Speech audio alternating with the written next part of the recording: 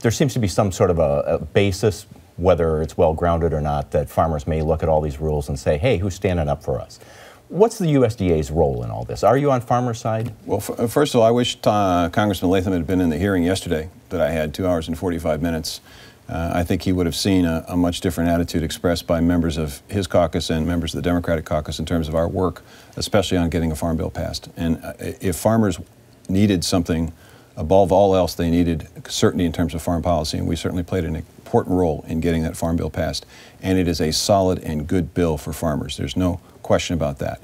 Secondly, uh, back to Kay's first question about the economy. This is the best agricultural economy we've experienced probably in my lifetime, maybe in the history of the country. Certainly record exports, record enrollment in conservation, record farm loans, uh, record activity in terms of USDA's assistance and help in expanding local and regional food markets uh, and the bio-based economy. So th there's very little area of complaint. Now, we do weigh in, we do visit with our sister agencies about various rules and regulations, and I will tell you that the Clean Water Act is a good example of the work that we did. Uh, before, there were not 56 specific designated conservation practices that were uh, now on record, the EPA on record is saying you don't have to get a permit, you don't have to notify the Corps of Engineers or the EPA. Uh, that is a solid uh, step forward.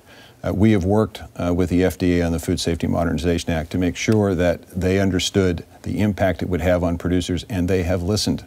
They have drawn rules back. They have modified rules uh, from their initial position because of the work that we do. Uh, so I don't think there's any question uh, that we're on the side of farmers, ranchers, and producers, and all of America that depends on agriculture. Uh, one out of every 12 jobs in this country is, is, is linked to agriculture. So we take our job very seriously. Is it your role and the USDA's role to be the farmer's champion? Well, it's our role to make sure that we advocate uh, for all of rural America. It's not just agriculture. Uh, there are 50 million people who live in rural America, and that's primarily our responsibility. It's why I'm the chair of the Rural Council. Uh, it's why we worked very hard to get a, a solid farm bill that not only focuses on producers but also on rural America. Because as good as the agricultural economy is, uh, we are still struggling in rural America and there is work that needs to be done.